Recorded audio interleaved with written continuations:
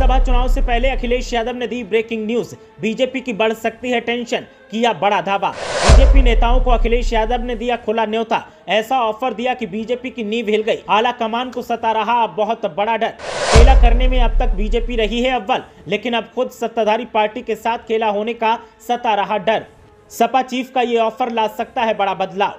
लोकसभा चुनाव से पहले ही उत्तर प्रदेश में पूर्व सीएम अखिलेश यादव ने खलबली मचा दी है। सपा चीफ ने बीजेपी की हालत पतली कर दी। वैसे तो अब तक बीजेपी नेताओं, विधायकों और सांसदों को तोड़ने में माहिर रही है। लेकिन अब की बार अखिलेश यादव ने ऐसा पासा फेंका है कि बीजेपी वाले ही सन्न रह गए। अखिलेश यादव ने जो ऑफ़र दिया है उसे सुनने के बाद तो बीजेपी वालों को काटो तो खून नहीं वाले हालात हो गए और उनकी नींवें हिल गई। अखिलेश यादव की इस चाल पर अब उनके समर्थक खुश नज़र आ रहे हैं और सबका एक ही कहना है कि भैया आपने तो बैठे बिठाए सत्ताधारियों की पुंगी बजा दी।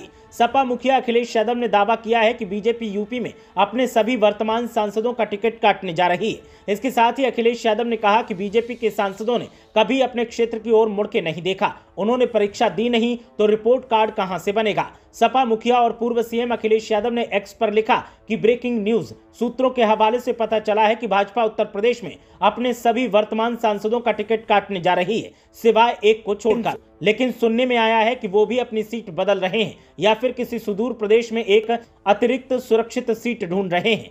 अखिलेश यादव ने लिखा कि इसीलिए भाजपा उत्तर प्रदेश में लोकसभा चुनाव 2024 के लिए अपने प्रत्याशियों के नाम की घोषणा करने की स्थिति में नहीं है, क्योंकि उनके वर्तमान सांसदों ने अपनी जेबें भरने के अलावा कोई भी काम नहीं किया है। इसी वजह से जनता में भाजपा और भाजपाई सांसदों के खिलाफ बहुत गुस्सा है। इन विपरीत हालातों को देखते हुए भाजपा में नए प्रत्याशियों की खोज जारी है, लेकिन कोई भी हारने के लिए नहीं लड़ना चाहता है। इसी कारण भाजपा की तरफ़ से एक भी प्रत्याशी का नाम सामने नहीं आ पा रहा है। सपा मुखिया ने आगे लिखा कि भाजपा के टिकट काटने से पहले जनता ने ही उनका नाम काट दिया है। इस बार उनके संसदीय क्षेत्र में भाजपाइयों को दाखिला नहीं मिलेगा। उत्तर प्रदेश की जनता इस बार जुमलेबाजों को नहीं, सच्चा और अच्छा काम करने वालों को चुनेगी। अब पीडीए की एकता जागी, छोड़ के बीजेपी यूपी भागी।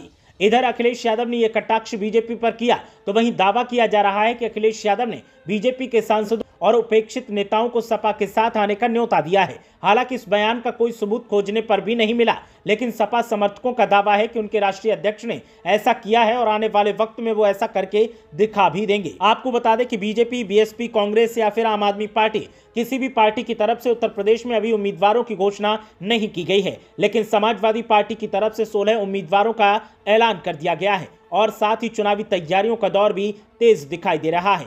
इसी को ध्यान में रखते हुए अखिलेश यादव ने बीजेपी पर कटाक्ष किया और उम्मीदवारों की घोषणा में हो रही देरी को लेकर जमकर मज़े लिए। ब्यूरो रिपोर्ट, मीडिया हलचल।